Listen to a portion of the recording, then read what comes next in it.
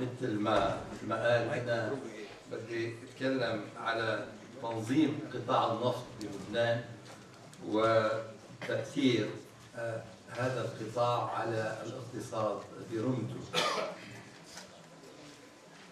الأنشطة البترولية في المياه البحرية اللبنانية وفي كافة مراحلها عامل جذب للإستثمارات الخارجية حكما. آه، وأيضا سببا لتنمية الاقتصاد وتطويره. الاستكشاف والتنقيب والاستخراج ومن ثم النقل فالمعالجة والتكرير والتسويق والتوزيع هي المراحل الأساسية للصناعة البترولية ونعرف قد تأهلت لغاية الآن 46 شركة لتنفيذ المرحلة الأولى أي مرحلة الاستكشاف والتنقيب والاستخراج.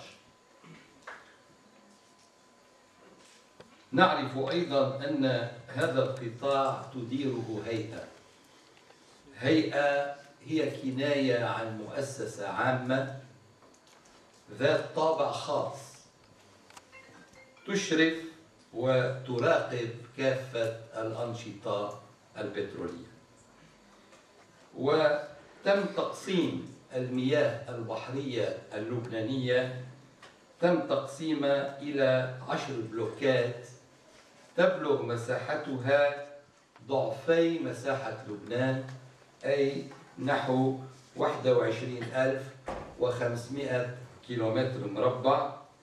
وهذه البلوكات تبعد ثلاث أميال عن الشاطئ اللبناني ويمثل هذا البعد نوع من منطقة عازلة تبلغ مساحتها نحو 1200 كيلومتر مربع. البلوكين الثالث والخامس هما أكبر البلوكات مساحة تزيد على 2000 كيلومتر مربع لكل واحد منهما.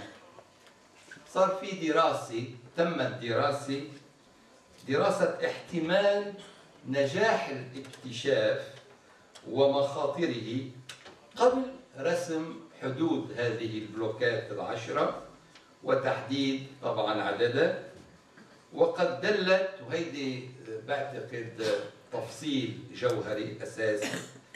قد دلت مختلف المسوحات الجيوفيزيائية على وجود طبقات جيولوجية واضحة فيها.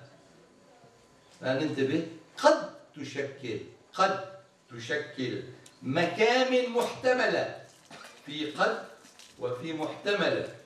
قد تشكل مكامن محتملة للغاز الطبيعي والنفط في المياه البحرية اللبنانية. فإذا أول استنتاج نقدر نقول إنه ما في شيء أكيد. فإذا ما كثير آه، نتأمل ونعلل نفسنا إنه المليارات ناطرتنا وإلى آخره ما في شيء نهائي ما في شيء أكيد. بدي أعيد في وجود طبقات جيولوجية واضحة قد تشكل مكامن محتملة. للغاز الطبيعي والنفط في المياه البحرية اللبنانية. قانون النفط صدر بال 2010 مراسيمه التطبيقية 27 صدرت بال 2013 القانون جيد. اعتمد نظام تقاسم الإنتاج وهو نظام أنا برأيي ممتاز لأنه لما الدولة بتدخل بمسألة تقاسم الإنتاج هذا يعني أنه راح تتابع مساراته منذ بداياته وحتى تحقيق الربح النهائي.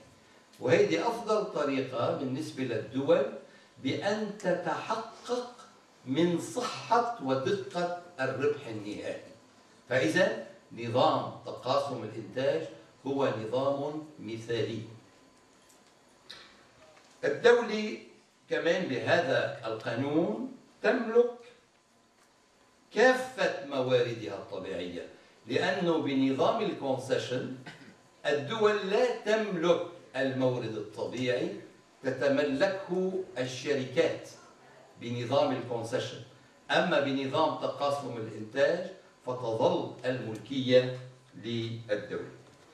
وفي القانون تتحمل الشركات كل أكلاف الاستكشاف والمخاطر وتطور تجاريا أي اكتشاف وعندئذ يبدأ تقاسم الإنتاج والأرباح بين الدولة وبين الشركات. فإذا الدولة ما بتدفع شيء على الإطلاق الشركة هي تأخذ على عاتقها كل مصاريف الاستكشاف والاستخراج إلى آخره وعندما يبدأ الإنتاج تبدأ الدولة بالإفادة من نتيجته المالية. الحصة الإجمالية للدولة تتكون من ثلاث أشياء. أولا ما يسمى آه، ترجمتها شوي غريبة الإتاوة فعملت شوية research لأعرف الإتاوة شو هي. طلعت الإتاوة royalty هاي تسمى royalty الإتاوة بقى هي ال royalty آه، هي بحدود الأربعة أو خمسة بالمية. هي ال royalty شو شو معناها ال royalty؟ ال royalty إنه هيدي الدولة عم تاخذ هذه النسبة الضئيلة من الإنتاج عندما يبدأ هذا الإنتاج مشان لتغذي صندوقها بسرعة ماليا يعني بسرعة. أنا شخصيا ما كثير محمس لموضوع الرويالتي لأنه رح نشوف أنه الدولة رح تاخذ أشياء أهم بكثير من هالأربعة بالمية عندما تدخل في نظام تقاسم الإنتاج. فإذا في دول كثير بالعالم ما عندها رويالتي. يلي الدول التي تعتمد نظام تقاسم الإنتاج ما عندها هيدي الرويالتي. الإتاوة منا موجودة عندها ونحن بنقدر كمان نتخلى عنها لأنه ربما ربما من بعد كل المصاريف اللي بتتكبدها الشركة من أجل الاستكشاف والاستخراج إلى آخره. نجي كمان نطلب منها قبل ما تدخل هي أي فلس كمان نطلب منها أن تدفع للدولة كمان حصة إضافية بعتقد هذا بشكل نوع من ثقل مالي على كاهل تلك الشركات وربما وربما يعني لم لا تعود متشجعة بأن فعلا تدخل بعملية التلزيم. لذلك أنا برأيي هالرويالتي هيدي مش indispensable يعني نقدر نستغني عنها لكن موجودة بالقانون وهي مثل ما قلنا 4% فإذا قلنا هيدي بتأمن مداخيل سريعة للصندوق السيادي وعندي كلام آخر على الصندوق السيادي بوقته بعد شوي. الذي ستودع فيه عائدات النفط والغاز. والحصة الثانية للدولة هي كمان حصة نسبية جيدة. مي أو في بترول الربح تصل إلى 50% بعد أن تكون الشركات قد حسمت من قيمة إنتاجها جملة نفقاتها. إذا في شيء اسمه بترول الربح. شو يعني بترول الربح؟ يعني هالشركة تحسم كل نفقاتها ومصاريفها مصاريف الإنتاج إلى آخره. الشيء اللي بيبقى الدولة بتاخذ منه 50% 50% لما بقول الإنتاج يعني 50% من قيمة هذا الإنتاج. وأخيرا كمان تستوفي الدولة نسبة نسبة الضريبة المعروفة على الربح على ربح الشركات المساهمة في لبنان واللي هي 15% فبعتقد إنه الحصة الإجمالية للدولة بتكون تفوق ال 60% من الكاش فلو المالي أو بالأحرى نعم من الكاش فلو المالي للشركات. تعتمد القطاعات الاقتصادية في لبنان على الطاقة بشكل كبير على الطاقة التقليدية بشكل كبير. ما يجعل الفاتورة النفطية مرتفعة جدا.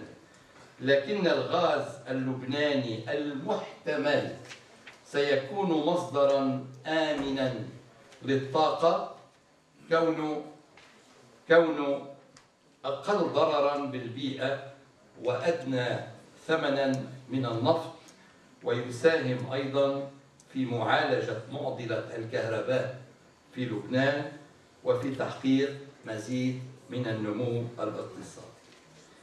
إن احتمالات الاستخراج سوف تغطي الطلب الداخلي، إذا انتبهتوا دائما عم بحكي بالاحتمال لأنه ما في شيء أكيد أبدا. احتمالات الاستخراج سوف تغطي الطلب الداخلي الإجمالي على الطاقة لسنوات طويلة وتصدر الفائض بواسطة خطوط أنابيب الغاز ومشاريع الغاز الطبيعي السائل. لبنان متصل بخط الغاز العربي المنشأ لتزويد سوريا والأردن وأيضا لبنان بالغاز ومن المحتمل استعماله لتزويد سوريا والأردن ومصر بهذا الغاز اللبناني ويقوم لبنان كمان بتزويد تركيا بالغاز عبر خط أنابيب بري أو بحري ما يمكنه من الوصول إلى الأسواق الأوروبية وتزويد أيضا بالغاز الطبيعي السائل. فإذا موضوع الغاز بلبنان هذا موضوع ممكن أن يكون له مردود كثير عالي لأنه عملية توزيعه تقريبا شبه مضمونة شبه مضمونة.